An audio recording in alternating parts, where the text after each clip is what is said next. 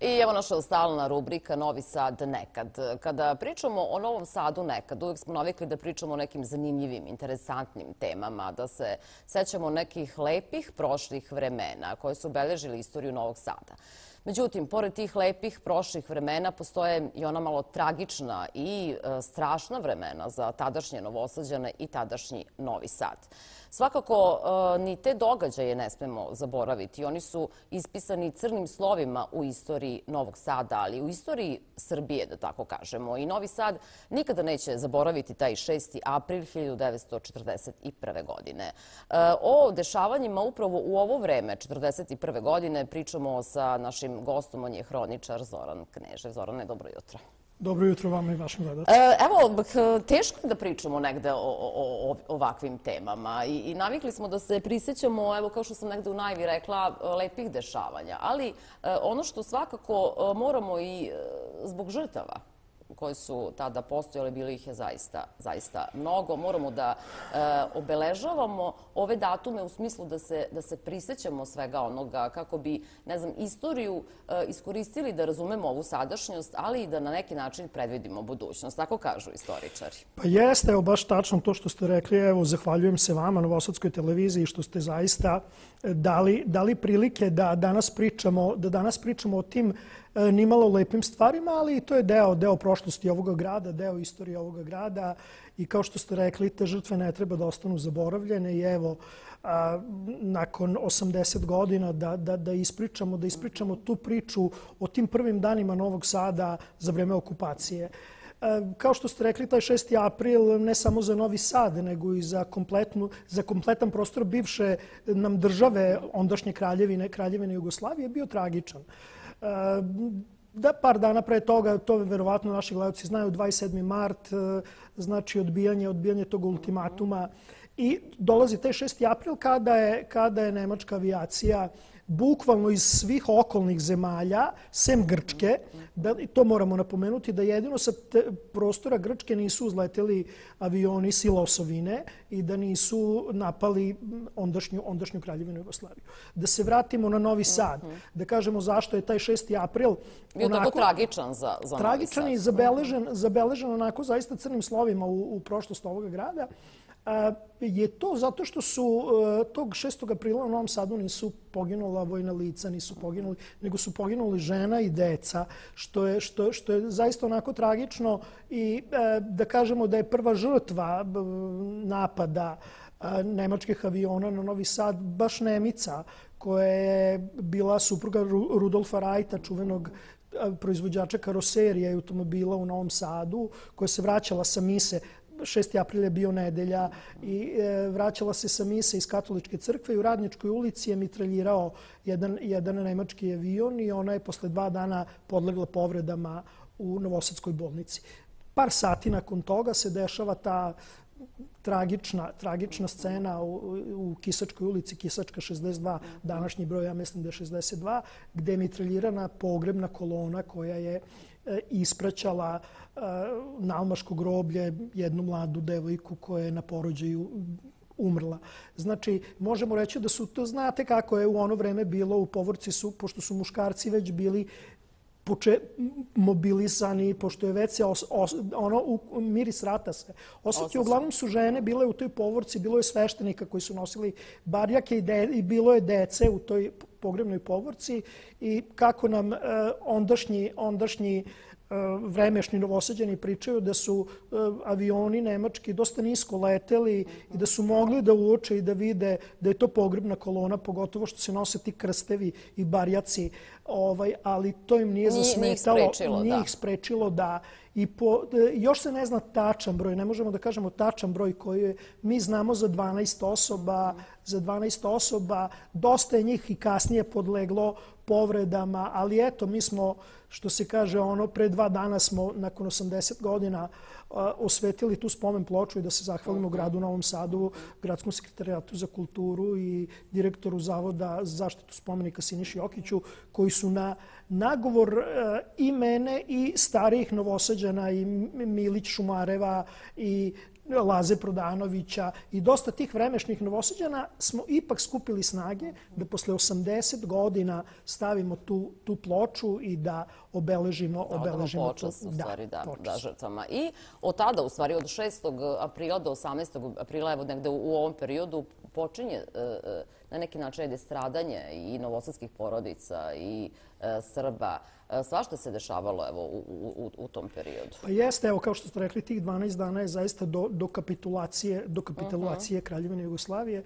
Ti dani su zaista bili tragični za Novi Sad.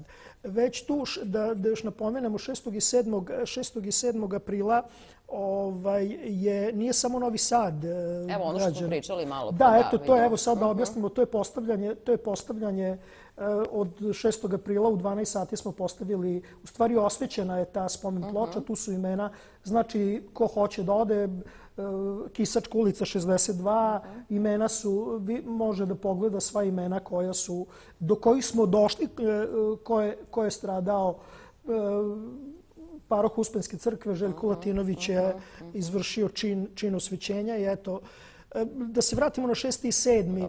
E, nije samo Novi Sad. Da kažemo, ajde što je u Novom Sadu stradalo. Znači, Prvi napadi na Novi Sad su bili, bačene su tri zapaljive bombe na aerodrom Jugovićevo, gdje su hangari počeli da, da gore i tog 6. i 7. aprila ga, faktički gotovo je uništena avijacija u Novom Sadu i uništen je aerodrom.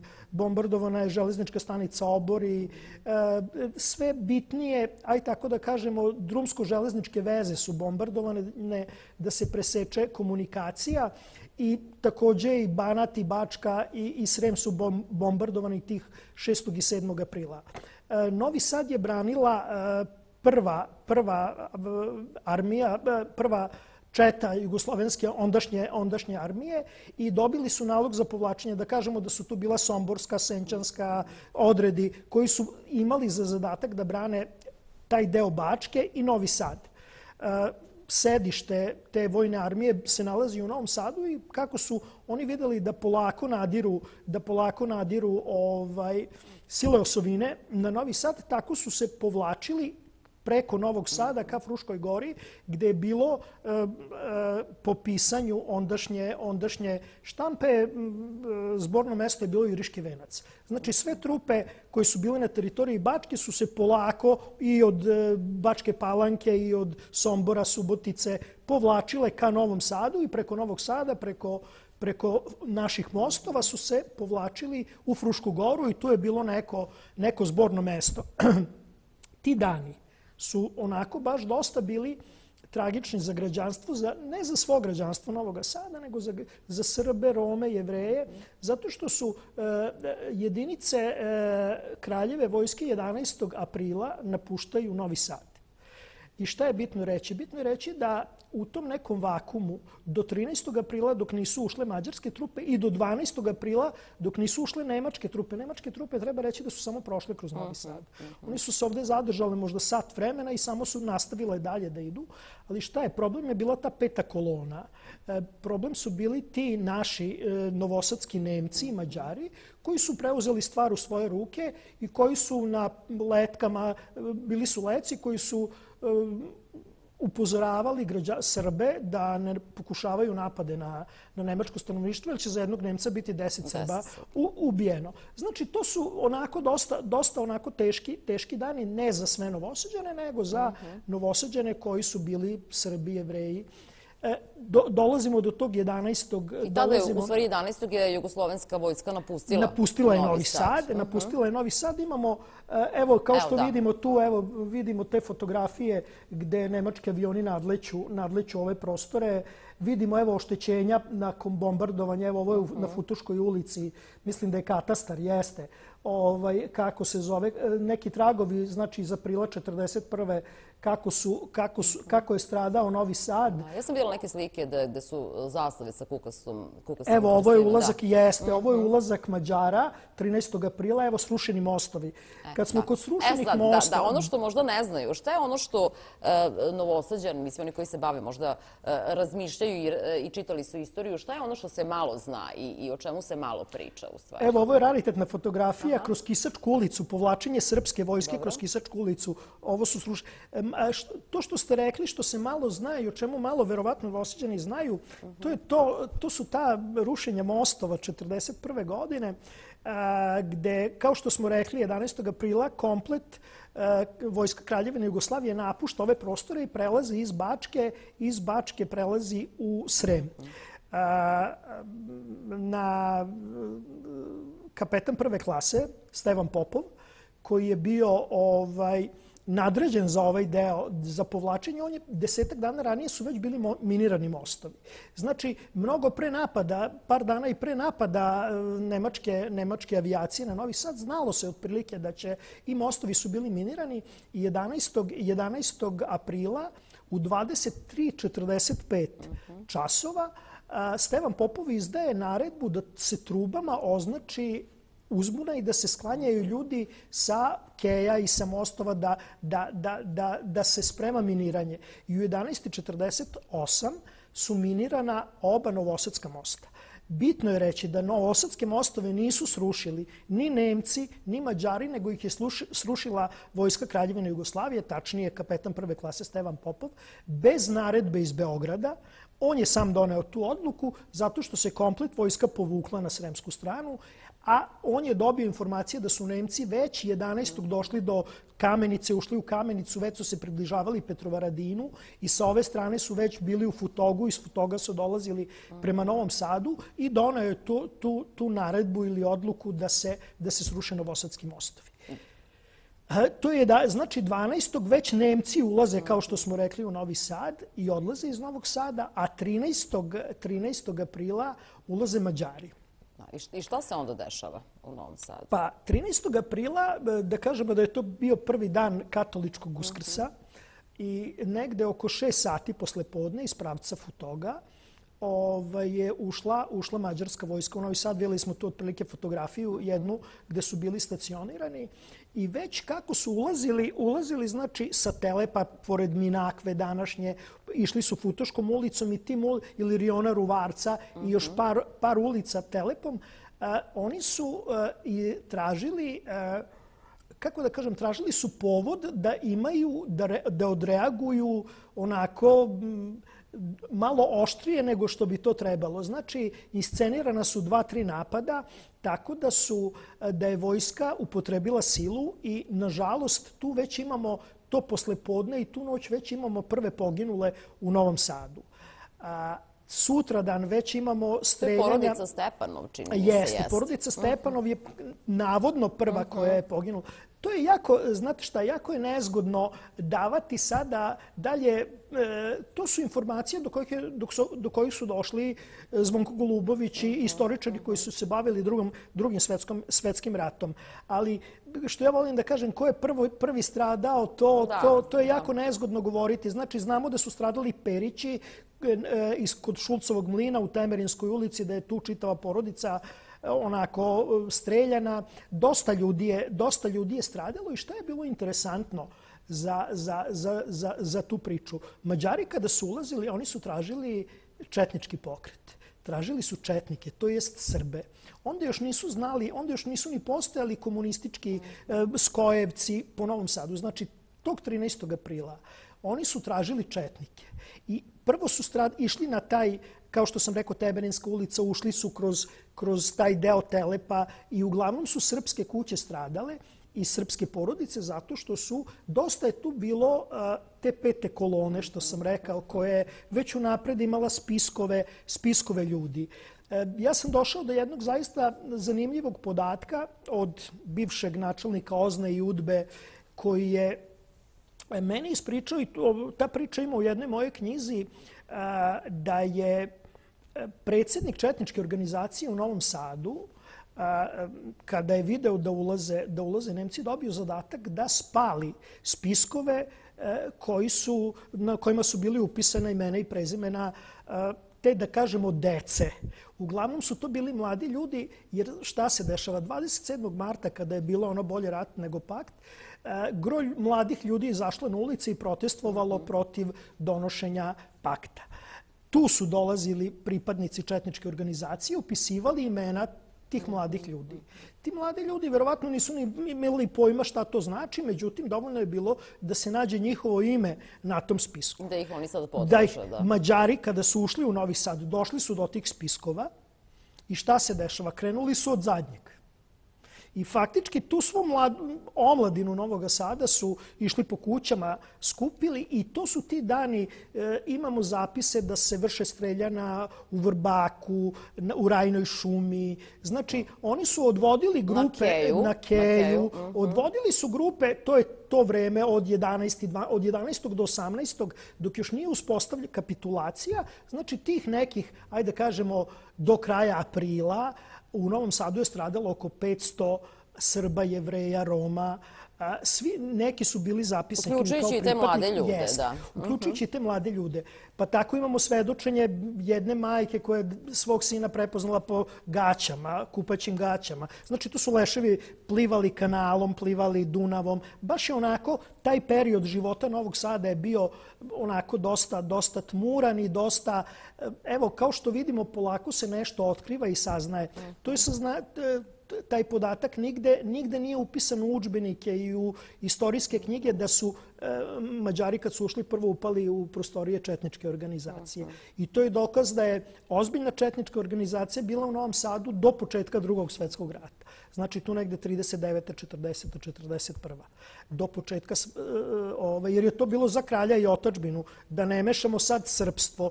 To je onda bilo za, za Jugoslaviju, za kralja i otačbinu. Eto, to su neke stvari koje verovatno malo, malo naši gledalci znaju. I šta je još nešto? Mi, pričali ste mi preko što su se uključile da, da, kamere da postoji još e, neke stvari koje, recimo, e, nisu imali prilike da naši gledalci čitaju i da e, Pa jeste, jeste. Pazite, mi sad, polako, mi sad uh-huh. polako dolazimo do nekih podataka i otkrivaju se neke stvari, izlaze na videlo. Uh-huh. A, znate šta, istoriju pišu pobednici. Uh -huh. I ovih 80 godina, ajde kažemo, bar jedno 50 godina je bilo onako. Bilo nam je predstavljeno da Vojska Kraljevina Jugoslavije bila trula, da je bila trula Kraljevina, da, da ta vojska nije bila nikakva, što u stvari mi sad malo kad otkopamo, kad, ispod površine, uh -huh. vidimo da to baš nije bilo tako. Uh -huh. A, šta, je, šta, je, či, šta su činjenice? Činjenice su da je Kraljevina Jugoslavije, avijacija Kraljevine Jugoslavije izvela drugi napad na eh, Treći rajh. Prvi napad je izvela britanska avijacija 1940. i 1941. A drugi napad je izvala Vojska Kraljevine Jugoslavije sa eh, aerodroma iz Banja Luke. Eh, krenuo je jedan, jedan, eh, aj tako da kažemo, jedna eskadra naše avijacije koja je bombardovala Grac. Grac je onda bio prostor Trećeg rajha. Znači, još neka mesta u Austriji. Uzleteli su avioni pa su bombardovali Segedin, Pečuj, Temišvar, Arad, i de, u Albaniji je isto bombardovano. Bombardo, znači, deo Italije je bombardovan. To je nešto što mi nismo mogli da čujemo i vidimo. Jeste avijacija Kraljevine Jugoslavije brzo poražena, jer je, mislim, e, bilo je 500 nemačkih aviona koji su e, e, naleteli na Beograd. I sad vi možete zamisliti, lupam, 20-30 naspram 500 aviona. Ali hoću da kažem, ajde da kažemo da je Jugoslavija bila druga zemlja u Evropi koja je posle Britanije bombardovala Treći rajh. Ajde da kažemo istinu. Ajde da odamo počast tim herojima koji su, koji su zaista pokazali srce i branili su tu Jugoslaviju, tu kraljevinu Jugoslaviju. Ima mora još tih podataka do kojih polako se dolazi i treba što više pričati. Nisam ja istoričar, ne treba ja da se mhm. bavim time. Ja sam hroničar. Ali evo ovim putem pozivam istoričare da se ozbiljnije pozabave i da izmenemo neke, e, da kažemo tako, Stvari istorijske koje greške istoriju, koje su zapisane. Uh Ajde da odamo počasti tim ljudima. Jer ja kažem, žrtva je žrtva. Totalno je nebitno da li je Mađar, Nemac, Hrvat, Srbin, žrtve žrtva, nečija majka plače na... Ali znate šta, 80 godina, to nije tako davno. Evo sad kada, kada pogledamo, za 80 godina se mnogo toga promenilo. Ma kako da ne, pa 80... Ali pazite, mene čudi da smo mi tek pre dva dana osveštali spomen mhm. ploču uh -huh ljudima koji su poginuli. Da li je moguće da 80 godina niko tim ženama koje su stradale i toj deci u toj pogrebnoj povorci, ostaje nam, ostaje nam e, to sam i rekao na, na skupu kada sam govorio pre dva dana, ostaje nam dug prema ljudima 44. koji su poginuli u Novom Sadu. To je mnogo više kada su saveznici bombardovali Novi Sad. Isto, čak još više su ga razrušili nego što su, što su Nemci aprila 41. Ostaje i tim žrtvama da odamo, da odamo počast. Jer je totalno nebitno, tu je bilo i Nemaca, i Mađara, i Jevreja, i Srba. I, znači, to, oni su građanstvo Novog Sada. I moramo njima staviti spomen ploču. Evo, dobro ste mi dali i, uvod da kažemo da ćemo 14. aprila na Almaškom groblju odati počast tim ljudima o kojima sam pričao. Od tih 500 ljudi koji su od 12. do kraja aprila stradali u raznim, raznim naletima i izlivima besa fašista, da kažemo, i, i, i ljudi koji su zaista onako e, zaista onako to je stvar, jer ja e, ne, upore, ne, ne možemo upoređivati nemački narod, mađarski narod i srpski narod. Mislim, narod kao narod, ali verovatno ti vojnici su dobili naređenja, svi su oni radili po, po nečijem naređenju. Pre neki dan je bila, bila i, u stvari, ja mislim, pre, juče ili preključe, Pal Teleki, to ne smemo zaboraviti, tog velikog čoveka, predsjednika, predsjednika Mađarske, ovaj, koji je navodno u 62. kada je Mađarska potpisala eh, ugovor sa Hitlerom o napadanju Jugoslavije. On se protivio tome jer je par godina pre toga Mađarska napis, potpisala deklaraciju sa Kraljevinom i Jugoslavijom o večnom prijateljstvu i o nenapadanju. I to je njega toliko, da kažemo, uzbudilo i nije mogao da pređe preko toga kao predsjednika vlade da je u 62. godini izvršio samoubistvo. E sada, neko kaže, razloga, da. Uh -huh. postoji priča da iz tog razloga. Neko kaže da je to uradio gestapo, ali mi znamo ovu zvaničnu priču. Uh -huh. Šta je istina, ko to zna, ali čovek, je, čovek nije mogao sebi da dozvoli da bude predsjednik jedne vlade Mađarske, a da Mađarska napadne Jugoslaviju. Pal Telek je jedno veliko ime koje moramo odati, odati počast. Pa sad šta je prava istina, nebitno je, ali je to ostalo u narodu da je, da je on svojim činom, aktom samoubistva, e, ne samo za Jugoslaviju, tu je i Poljska u pitanju, ali zaista je bilo i u mađarskom narodu velikih ljudi koji su se pobunili protiv nacizma, fašizma, protiv genocida, što će se tek kasnije dešavati i ta racija, ja mislim da to nije racija, mislim da je to nešto mnogo gore i upotrebio sam možda i jednu goru reč za to jer bacati nekog pod led, streljati, ali o tom potom doći će i ta vremena pa ćemo, pa ćemo možda Da, rekli se, nakon 80 godina se prisjećamo žrtava. Da li je ovaj film Dara iz Jasenovca pokrenula tu lavinu starih sećanja? Ajde negde da, da negde shvatimo da, da ne treba da se stidimo tih žrtvi, da, da ne treba da se stidimo mi kao uh, Srbi da smo bili žrtve uh, tih stradanja. Uh, da li treba da i dalje pričamo, naravno da treba da, da pričamo o tome i da se prisjećamo, da li je taj film uticao na to možda da, da krenemo da se, da se sećamo toga i obeležavamo takve datume? Pa znate šta, ja, ja nisam pristalica ono da se, da se dižu, e, kako se, da se pale nove vatre. Uh -huh. Ali nikako ne smemo zaboraviti te stvari. Ne smemo zaboraviti jer nas prošlost uči budućnosti. Jer nas prošlost, usti, evo gledamo sada i tu seriju o Aleksandru Karadžorđeviću, pa gledamo, pa vidimo možda koliko smo grešili i ranije. E, svakako da treba, ne samo mi, pa vi vidite da se i dan danas snimaju filmovi u drugom, i da Amerikanci snimaju i Britanci i Nemci i, i tek sad dolazimo do, do nekih podataka o kojima se čutalo 80 godina. Ne samo kod nas, nego i, i svugde na zapadu. Znači, jednostavno, treba, ja kažem, prošlost treba ispričati takva kakva jeste. E, jedan vek za istoriju nije ništa. Mislim, ja sam imao Istina uvijek pronađe svoj put Ma, na kraju. i treba da. da pronađe. E, ja kada sam pisao o Četničkom pokretu u Novom Sadu, moj deda je bio na Sremskom frontu, bio partizan, mislim, nema veze sa Četničkim pokretom, ali ja sam jednostavno preneo podatke do kojih sam došao iz istorijskog arhiva, iz, od priča ljudi koji su učestvovali i onako nekima to nije baš bilo po volji, nije im bilo drago, ali uh -huh. ja kažem ljudi, pa ajde da ispričamo kako je bilo. Pa sad, bilo je tako, pa mi tu ništa ne možemo promenuti. Ajde da, da, da, nas više ne lažu. 50 godina je, smo bili lagani. Ajte da ispričamo onako kako je bilo, pa kome se svidi, svidi. Mislim, i e, ne gledaju svi novosadsku televiziju. Mislim, imaju ljudi izbora 100 kanala, pa prebaciš, pa, pa gledaš ono što te interesuje. Tako da mislim da treba pričati o tome, da treba govoriti o tome, da treba obeležavati sve to, da treba obeležavati i odavati pomene svim žrtvama, ne samo Srbima, Jevrejima, i, ali to su naši i stradali su ovde. E, hvala Bogu da, da, da se Novi Sad je multikulturalan grad i da, da se jako vodi računa da se ispoštuju sve, sve nacije koje su stradale i eto, ovim putem upućujem apel da treba podsjećati, treba mlade učiti da se ne bi ponovilo na greškama, da ne bi učili i da ih podsjećamo šta se to nekada dešavalo. E, opet ponavljam, ne treba reći da je to Mađari, Nemci, Srbi, Jevreji.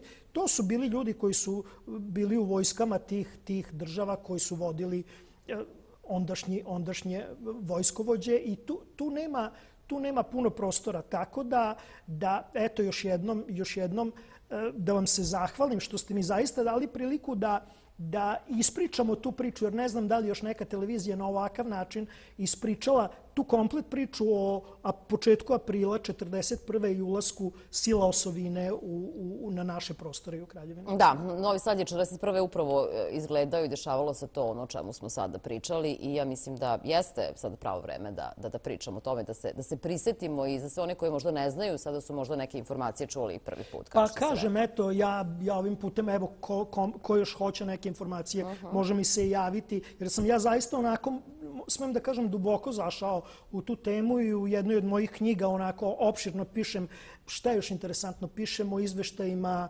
tajnih službi u Novom Sadu, mađarskih tajnih službi za vreme drugog svetskog rata. Znači, tu će neko naći podatke, možda i o nekim stvarima kojima se malo zna. Ali to je arhivska građa, to je sada dostupno i može se doći do toga o četničkom pokretu, o, o ozni, o udbi, priče, priče prvog čoveka, ozne i udbe tog vremena, e, Borivoja Simina koji mi je onako otvorio dušu, ispričao mi priču i o Rajnoj šumi i o četničkom pokretu, zato što je čovek čovjek je pratio od samih početaka u Novom Sadu dešavanja, e, ratna dešavanja pa do kraja rata.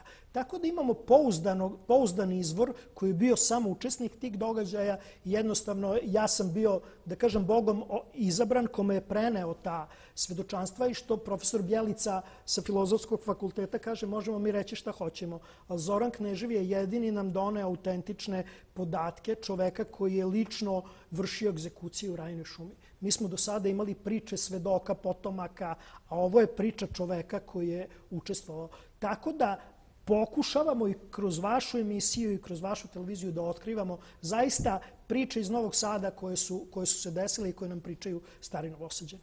Hvala puno, Zorane, što ste bili sa nama ovoga jutra i vidimo se naravno u sljedeće nedelje u rubrici Novi Sad nekad. Hvala i vama i radujem se sljedećim susretom. Nastavimo dalje. Ja mislim da imamo vreme za jedan crtani